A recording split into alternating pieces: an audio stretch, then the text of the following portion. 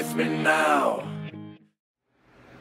Hello everybody, it's Nick again and welcome back to the Reptilinks video blog. This is our second uh, segment where I'm going to cover unboxing.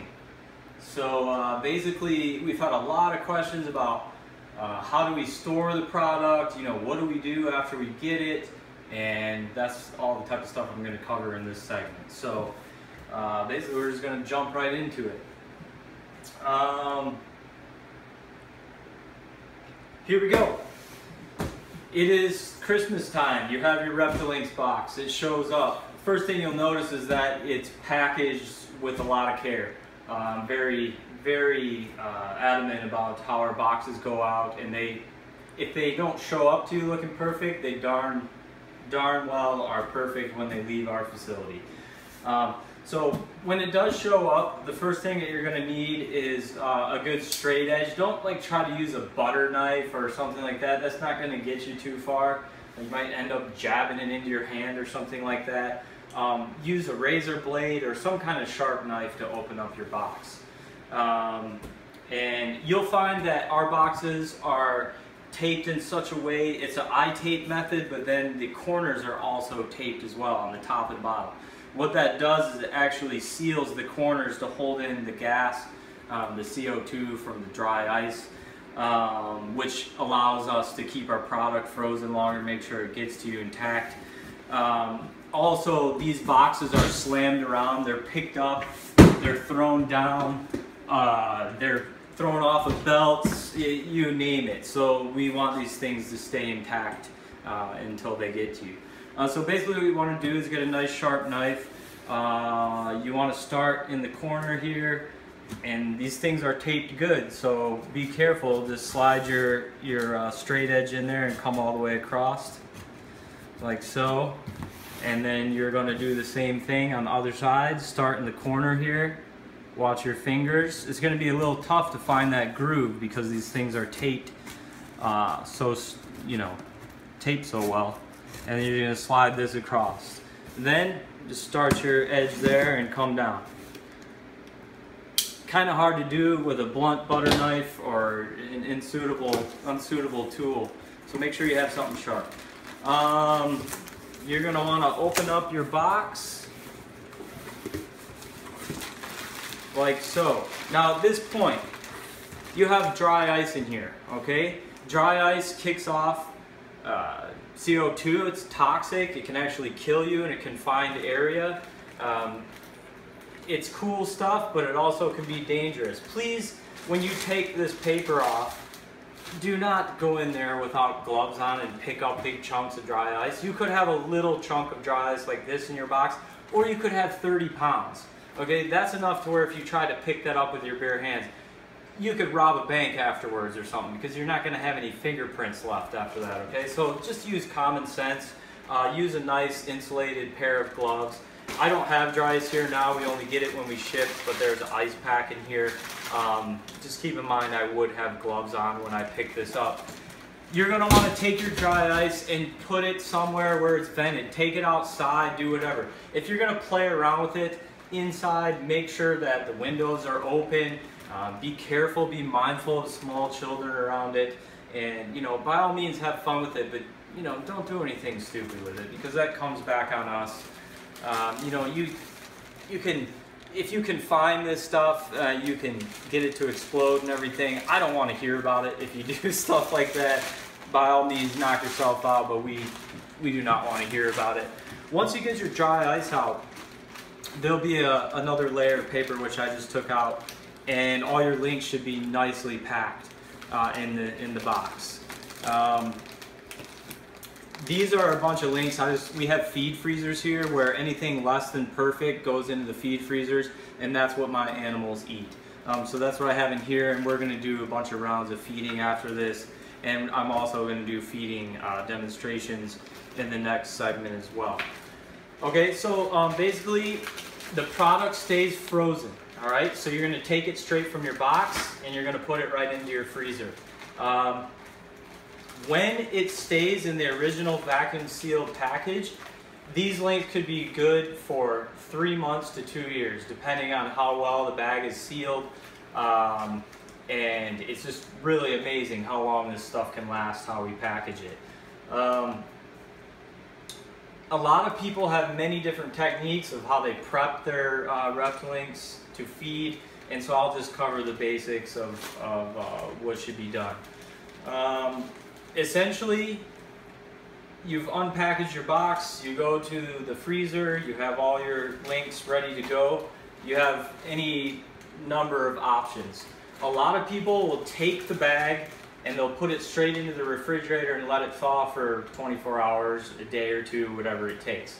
Then they will cut it open, okay, and uh, go and, and warm their links for a short period after that and feed their animals. That's great if that works for you. Um, there is one problem with that though. If you thaw this, okay, before cracking the seal on these bags, they're vacuum sealed under pressure. So what that's going to do is it's going to squeeze um, some more of the blood and and uh, moisture out of the links. So they're they're not going to be uh, as as clean to work with. Okay.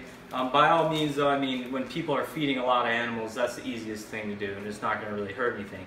That is with the traditional cased links. That's 8 to 12 gram link size all the way up to 100. You can thaw them out under vacuum seal pressure. Now, if you do that with the minis or micros, you're going to be in big trouble.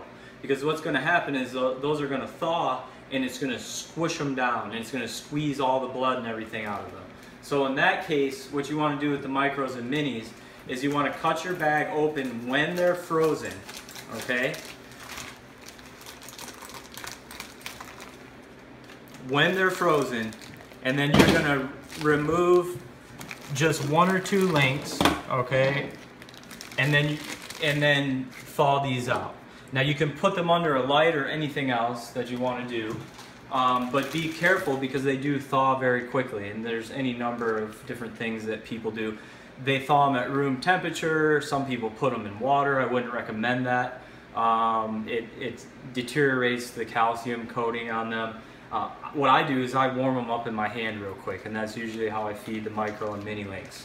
Um, what do we do with a bag of links that's open now? We can't re-vacuum seal them unless a lot of you have caught on to the fact that it's great to have a vacuum sealer on hand. But for those of you that don't, what do you do with these?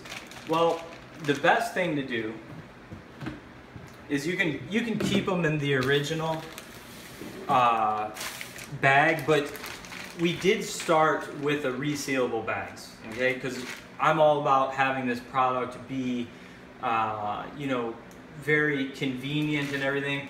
Well, we found out that resealable bags are faulty. Um, rarely do companies have their plastic welding machines set to where the bag is sealed 100%. So what we were finding is when we use resealable bags, is that there's a very slow leak in them, which you can see these links. These were in the feed freezer for a reason. Uh, they developed ice crystals. That's going to happen nine times out of 10, um, you know, with resealable bags, uh, which we just cannot have. So these are the best bags. There's least margin for error to get the product to you sealed properly and looking exactly how it needs to look. You can fold this up and squeeze this out, but there is going to be um, some moisture in there. So what I recommend doing is grabbing, you can grab a sandwich bag or uh, a Ziploc bag like this, and you would take your remaining links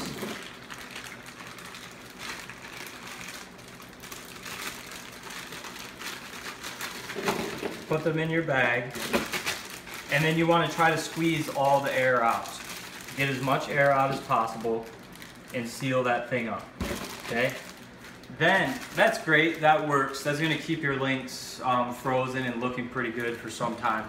If you take them and place them in a Tupperware container, then they're gonna keep a lot longer and they're not gonna develop ice crystals because you're just, you're not allowing any air to seep through that bag and get to them. Make sure this is completely sealed off. That is what I would recommend to you guys on how to keep your links until you're actually feeding them.